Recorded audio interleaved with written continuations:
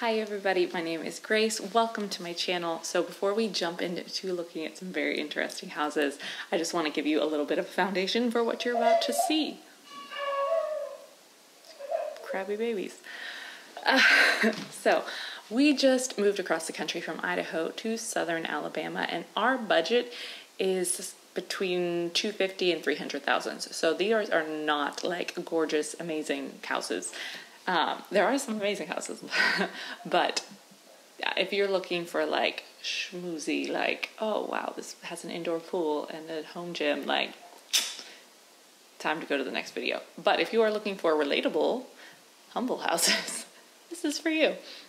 So, we have some really interesting ones. We have one that's like out in the country that could be turned into a hobby farm. We have a foreclosure that was in crazy, not so great shape. Uh, and we also have hopefully our house.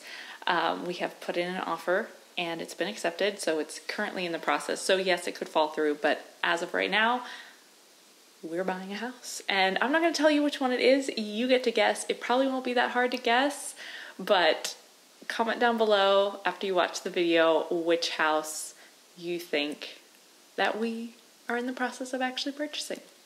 Be interesting to see if you get it right. So, let's jump on in. So this first house that we're going to look at is actually that foreclosure that I just mentioned and the videos don't show how grimy it really was. You can kind of see in this kitchen, but y'all, this place was a mess. Like the people that left must have been mad and they wanted to leave their mark because it was gross. And I know that that kind of stuff can be cleaned and it would be fine and, you know, but you would have to put money into this house for sure. We were attracted to it because of its size and the potential to make it our own. My husband is super handy, and so we loved that. We also loved that they just, the one thing they left was these instrument holders, which we use. Um, but there was a cool room above the garage. The backyard was awesome, and the number one thing that we loved that really attracted us to this house is what you're about to see on the screen and porch was a giant fireplace. Like, how cool is this? Awesome, absolute dream. And the backyard was really cool, but you would have to, you know, pull up your bootstraps for that one. This one was a little bit of a cookie cutter. This layout is super popular in this area. So we saw, you know, a lot of houses that were pretty similar to this one, but it was in really good shape and the master bath was really nice. There were definitely some things to update, but they wouldn't be, you know, you can't move in until you update it. No, it's like, okay, let's jazz up some wallpaper and maybe change some flooring or something or carpet or whatever. So, um, it was also in a really nice neighborhood and a really nice area. So, this was a pretty great house, and it also had this screened in porch, which is a really desirable thing to us as a family. And look at this big yard. So, this is a great, great house. This next house we loved. We loved. It was similar to other layouts we had seen, but this one was just a little bit more smartly done. And it was kept up beautifully. We literally wouldn't have to change a thing when we move in. Not a thing. The master bedroom and the master bath was gorgeous. They even, this this family have a little girl, so their little girl's room was really easy for us to picture our little girls in it. Like, it was awesome. It has a screened in porch, it has a nice backyard, literally tick, tick, tick, tick, tick. It is on the, it's above our budget. So they would have to come way, way, way down for us to even be able to fathom being able to have this house. But, and it also has this awesome backyard that overlooks a field and there was even a cow back there, which is super magical to us. Yes, uh, there are a lot of developments going up, so that might not always be a field, but it's a beautiful, beautiful home, and this one jumped right up to the top of our list. Now, this one was another one. Sorry, I'm showing you some cookie cutter ones. But this was an open house and we I kind of immediately knew walking in that this was not going to be our house. It was fine. Uh, so yeah, spoilers, this isn't our home.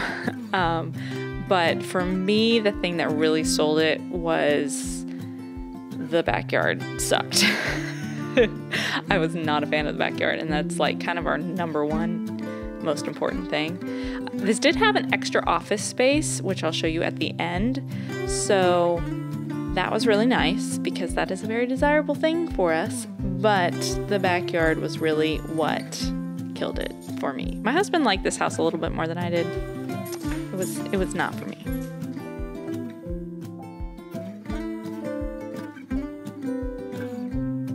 Here's that office space. That was really nice. It was at the front of the house.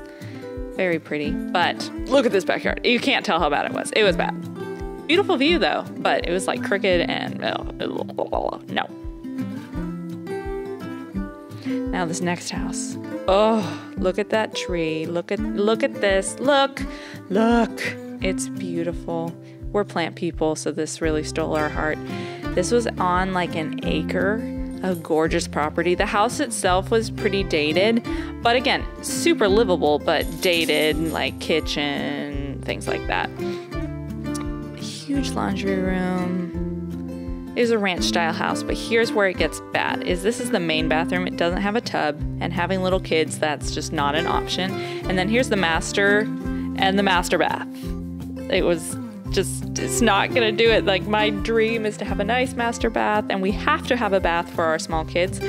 So we immediately started thinking through renovations and how much it would cost to add a bathroom on and all that kind of stuff. There's plenty of room on the par- property, but that would be a huge expense. So that was a major downside to this house.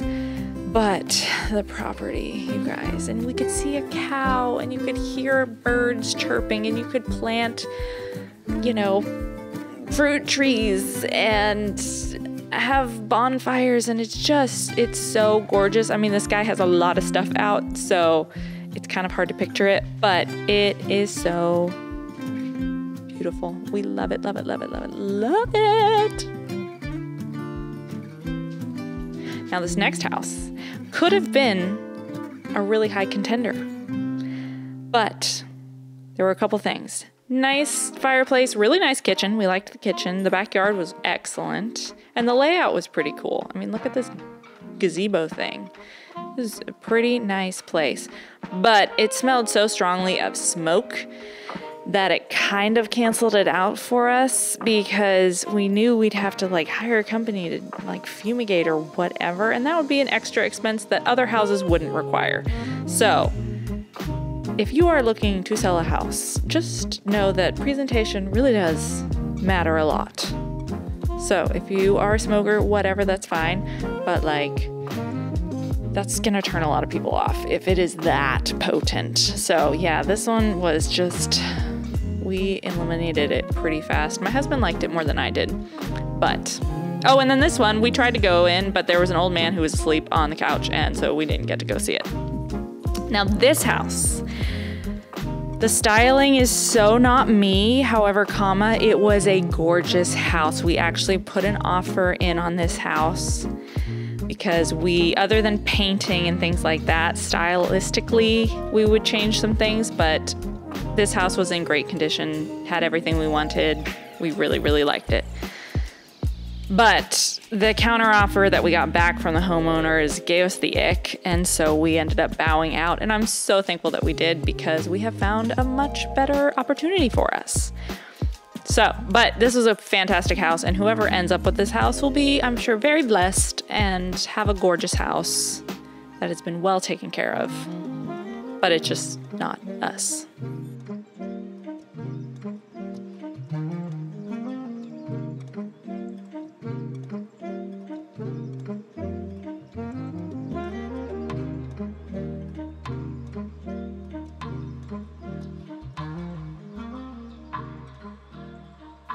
This house was kind of laughable.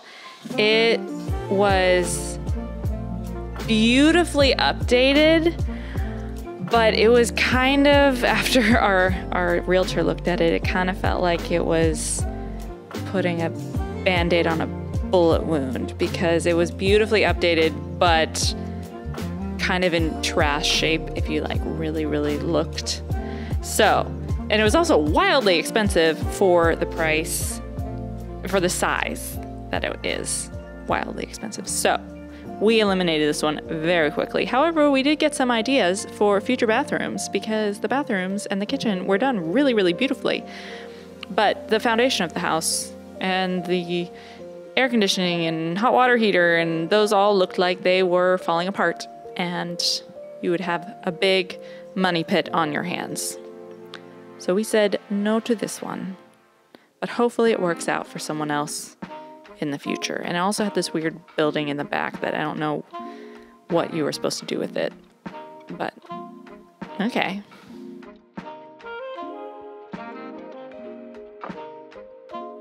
This one was also an open house, and there were so many people at this open house. It was hard to get footage without seeing other people. I didn't care for this house. The the living room was tiny, those weird pillars that you can see. Everything just seemed really boring. I want a house with character. And so my husband liked this house, except for one aspect. The back backyard was awesome. I will give it that. But they tried to add square footage, so they cut the garage in half just as you see, to add this weird room. So it doesn't have a working garage, so it has this random room, but it did up the square footage. But that was not worth it to us. So we were like, nah, all the thousands of other people that are here, they can have this house. This was not for us. But again, the backyard was awesome, but we want a garage.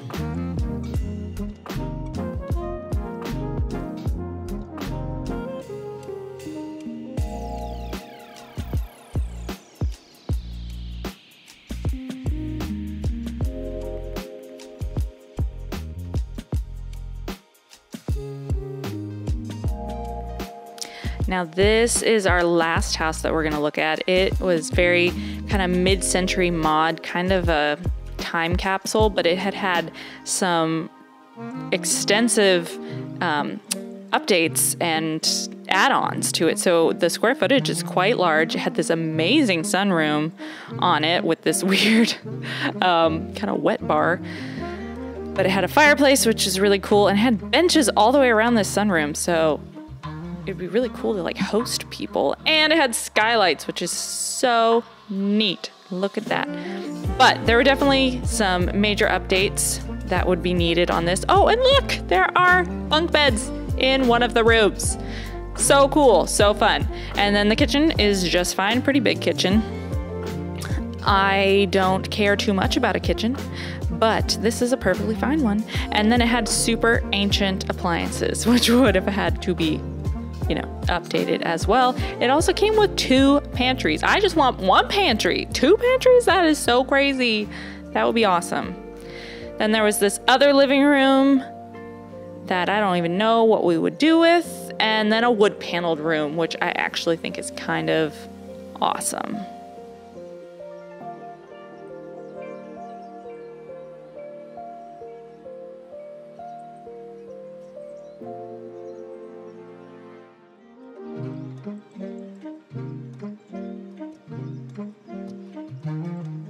This was the master that had his and her closets, very ancient um, curtains on there. So, again, some major updating. It looks like it hasn't been updated since it was built. And then the master bath. Very interesting. Had this huge vanity. But then an actual the actual bathroom is tiny and it kind of looks like a Barbie prison bathroom. So that would have to have some major renovations.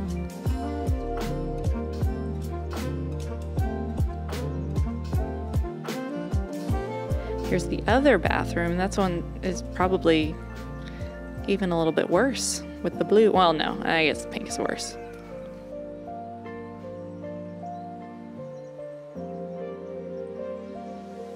Very retro, but it would need some work. Okay, so which house do you think that we ended up with? I need you to comment down below. Don't forget to subscribe. Thanks so much for watching.